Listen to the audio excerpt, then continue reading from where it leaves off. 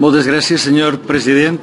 Después de mm, estas palabras tan inflamadas del, portavoz del PP, pues, en fin, eh, mostrar también nuestro acuerdo y apoyo a la propuesta, como lo hemos hecho desde Sagunto, desde Compromís de Sagunto, desde el Ayuntamiento, desde, en fin, desde todas las instituciones donde Compromís estamos representados. He de decir que estamos de acuerdo, pero nos gustaba un poco más el original que presentaba la señora Blanquer que la transacción a la que finalmente se ha llegado, aunque votaremos a favor porque entendemos que hay que estar en esto todos juntos.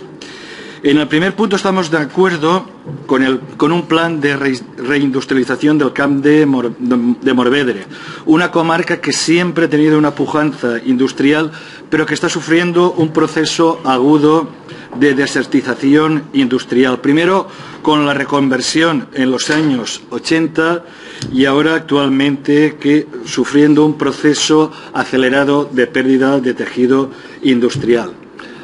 La enmienda del Partido Popular, mm, haciendo gala de toda mi buena voluntad, la calificaría de seráfica y si pongo un poco más de ironía, diría que es una enmienda incolora, inodora y, sobre todo, profundamente insípida.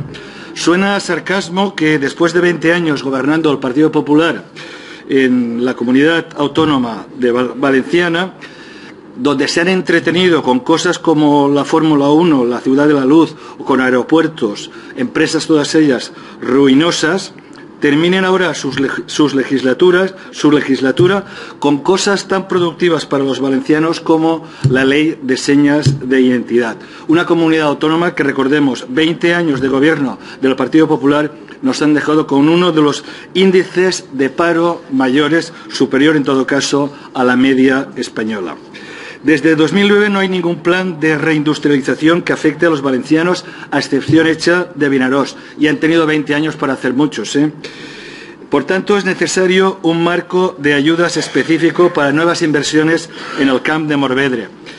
Y frente a la estudiada indefinición de la enmienda del PP, finalmente de transacción, nosotros, desde Compromís, entendemos que sería necesario introducir un marco temporal antes que finalice el 2015 para establecer las necesidades de industrialización de la comarca del Camp de Morvedre. Y por eso les insto, tienen una buena oportunidad de demostrar su buena voluntad, que este plan de reindustrialización tuviera una partida en los presupuestos generales de 2016.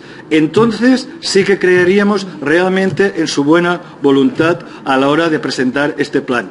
Si no, serán palabras huecas, en fin, buenas intenciones, mm, en fin. Estamos también de acuerdo en el segundo punto que presentaba la señora Blanquer en las medidas necesarias, en que hay que implementar medidas necesarias que eviten la cierre de la, de la planta Bosal. El sector auxiliar del automóvil no está deslocalizado en el Estado español y Bosal, esta empresa que, que recientemente ha echado a más de 200 trabajadores a la calle, Bosal en sus plantas de Zaragoza y Madrid sí que han pedido ayudas genéricas incluidas en el plan de competitividad del sector del automóvil en 2009 y en 2011. Concretamente, en 2009 Bosal Leganés tiene concedido, se le subvenció una subvención de 984.000 euros y Bosal Zaragoza de 319.000. Y en el año 2011 Bosal Zaragoza tiene otra subvención de 179.000.